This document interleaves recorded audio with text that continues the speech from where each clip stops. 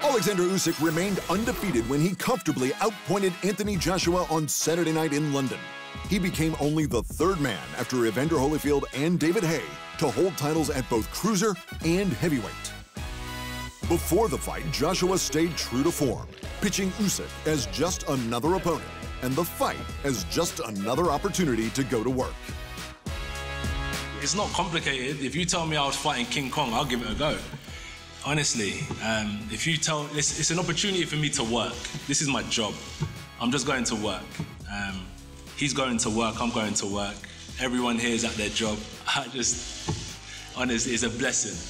This is the best days of my life.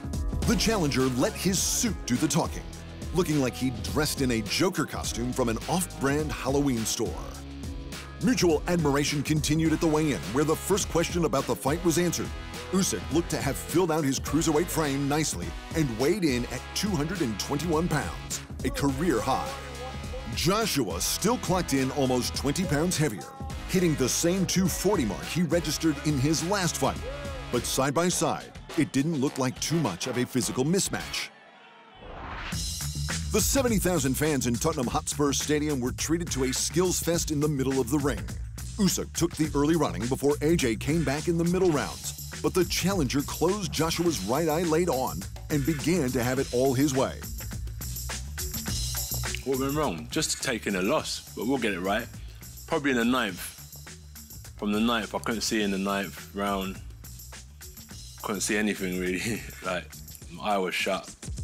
Joshua looked lucky to make the final bell as Usyk poured on the pressure in the final round, leaving the champ wobbled and leaning on the ropes. All three judges saw it for the Ukrainian technician, with the closest margin being two rounds. The dominant win was undoubtedly the biggest of Usyk's career, but he was dismissive of the level of difficulty. At this point, yes, it was the biggest fight in my career, but it wasn't the hardest one. On the rest of the card, Lawrence Okolie defended his cruiserweight belt with a third round KO of Dilan Prasovic. And Callum Smith got everyone's attention with a second round KO of Lenin Castillo. The new champ will have to win his belts a second time, thanks to compulsory rematch clauses, clauses that Usyk was in no rush to think about. Хочу завоевать все четыре пояса и наблюдать, э, возить детей в школу, на тренировку, наблюдать, как... I want to live I want to take home the four belts. I want to take my kids to school. I want to plant trees. I want to water the apple trees. I want to see my wife more often. I've spent three months in preparation camp, so I wish I could spend some more time with my wife. I want to live. For the former champion and his promoter Eddie Hearn, however, the plan was much more clear. Rematch. The only thing in question was the location. I'm just looking to go in there improved, stronger, smarter, and um, yeah, I'll get. I, I believe I'll get a good win in the next fight because of what I learned in this fight. I'm I'm a quick learner, and we'll bounce back. Now, on a serious note, we'll, we'll, we will work together to maximise the revenue. Ukraine, very unlikely, to be honest. I think it'll be international, it'll be in the UK, but I would think it'll be in the UK.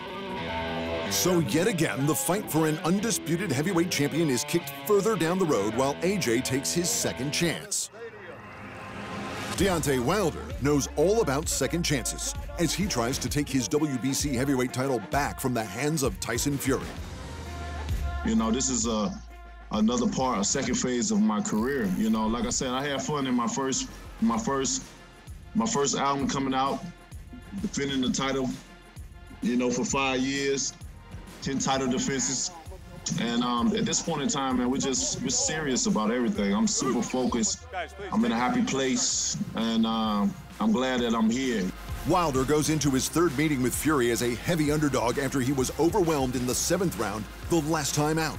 But Wilder believes his loss has given him the focus to come back harder and match it with one of the most skillful heavyweights in decades. That made me a better person. It strengthened me in so many areas. You know, um, I can say so many different things here, but uh, my action was my action is going to speak louder than my words can. Any any any given day, any given month, week, year. Fury versus Wilder 3 for the remaining heavyweight title and the Lineal Championship is set to go down at the T-Mobile Arena in Paradise, Nevada this October 9th. Thanks for watching. And remember, if you want more fight sports in your life, just hit the subscribe button.